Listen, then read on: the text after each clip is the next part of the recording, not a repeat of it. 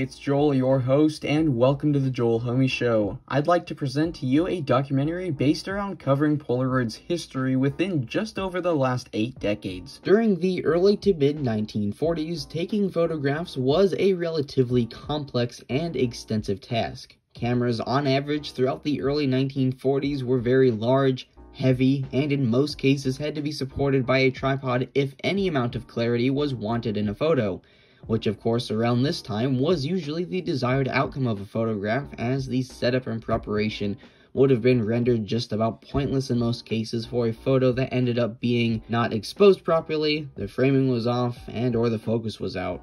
During what most would end up considering the semi-early days of professional photography, preparation really meant everything, as if you missed or messed up just one simple step, it would in most cases make the rest of your preparation work just about pointless.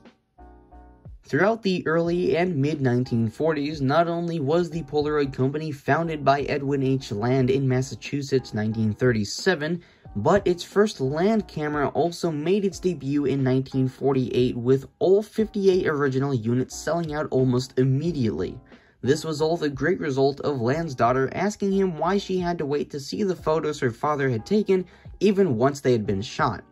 Almost immediately after the initial release of the air quote Polaroid land camera, the world got to experience true instant photography for the very first time.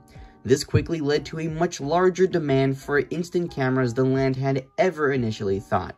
This massive revolutionary turn in instant photography and photography as a whole would go on to change the world's ability to document just about anything on a moment's notice through the power of advanced chemical reactions that made up what we now know as instant film possible. The early on success for Polaroid would of course be what would become rapid growth in the quickly developing instant photography market that would just about directly benefit Polaroid.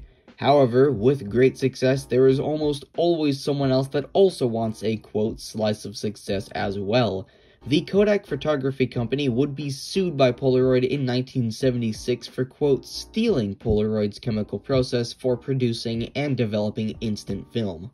Polaroid's outstanding success, however, would start to die down throughout the 1990s and would continue to do so into the early 2000s with the introduction of the digital camera that was becoming increasingly more readily available for both photography and videography applications.